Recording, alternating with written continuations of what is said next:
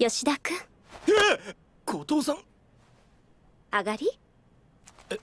えまあ。そう。じゃあこの後ちょっといいかしら。うん。やっぱり吉田君が焼いてくれたお肉の方が美味しく感じるのよね。でもそういうのも何か理由ができたからなんじゃないかって思って。あの驚かないで聞いてほしいんだけど。私が吉田君のことを好きだからよ。あれねあなたに告白された時すごく嬉しかった。それこそその場で飛び跳ねたいくらい。でも今日じゃないなって思ったの。信じられないです。そんなことない。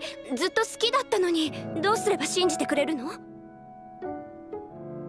俺とやれますか？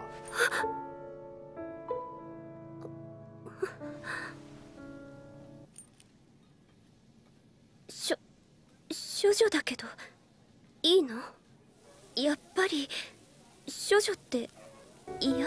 じゃあ本当に。私本当に吉田君が好きなのだからその吉田君が望むならそそういうことになっても。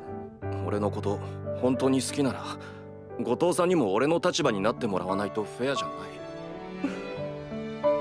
分かった。いつかは分からないけど今度は私から告白する